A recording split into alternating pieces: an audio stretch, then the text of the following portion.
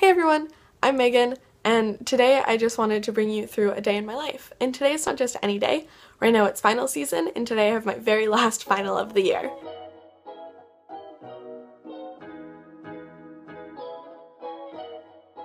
So right now it's about 9 o'clock, and I'm just gonna do some notes in my bed that I didn't finish doing last night before I get up and start my day.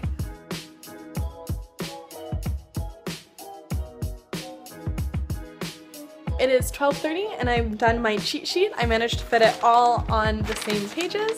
So now it's time to go get dressed, get ready, and go to school. I always try and look nice for exams. I kind of believe in the whole like look good, feel good, do good thing.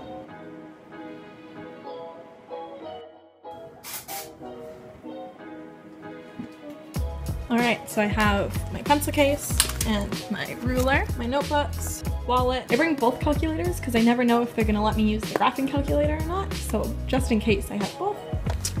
And a bottle of water as well.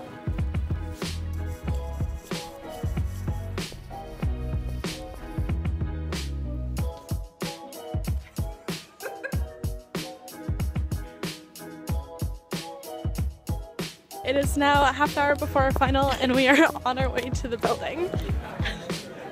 Well, it's time. You guys ready? Yeah, let's do this. We're done!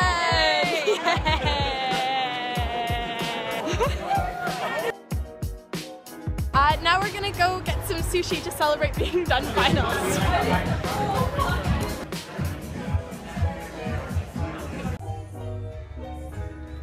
And I am now back home, so I hope you guys all enjoyed watching what a day in my life is like, and bye!